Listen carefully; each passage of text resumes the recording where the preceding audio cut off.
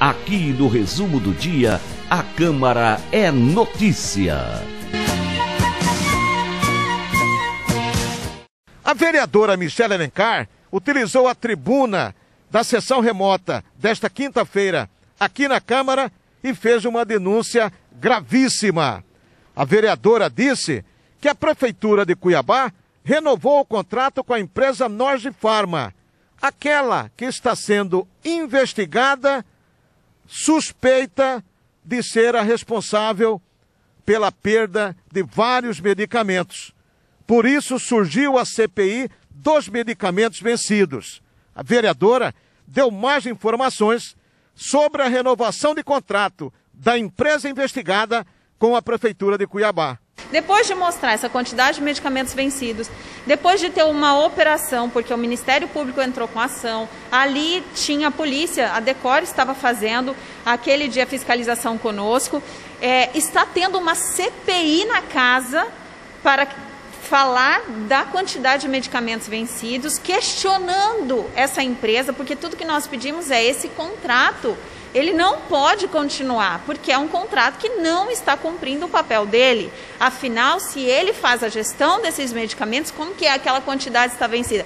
Mesmo de todas essas depois de todas essas evidências, o que a gente tem a renovação do contrato. Então, isso realmente é uma afronta, eu entendo como uma afronta aos cofres públicos e principalmente à sanidade da população, porque nós nos sentimos assim, poxa, então quer dizer que a gente está aqui fazendo nosso trabalho, a polícia fazendo trabalho, o Ministério Público fazendo trabalho, os vereadores fazendo trabalho, a gente fazendo CPI e a Prefeitura, a Secretaria de Saúde está nem aí, renovaram o contrato. Isso realmente é um absurdo. Bastante indignada a vereadora também falou sobre uma operação que aconteceu na manhã de hoje junto à Secretaria Municipal de Saúde aqui da capital.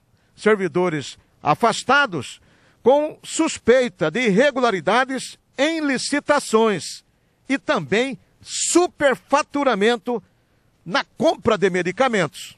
Parece que é uma fábrica de notícias ruins, entendeu? Nós fomos dormir ontem com essa questão do contrato renovado. Já fomos dormir chateados. E a gente acorda hoje com uma operação que mostra o quê? Mostra que teve excesso na compra, e aí a gente vê um monte de medicamento vencido.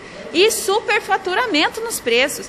Então, assim, é um desrespeito com a população, é um desrespeito com a saúde de Cuiabá.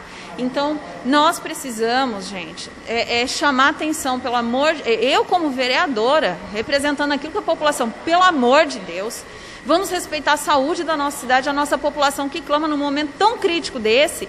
A gente tem um contrato renovado, tem uma operação que, na verdade, é o desdobramento da overprice, ou seja, não é de hoje que esse problema está acontecendo, já vem sendo questionado, já vem apontando indícios de corrupção e ainda tem renovação do contrato. Então, realmente isso indigna quem precisa da saúde pública.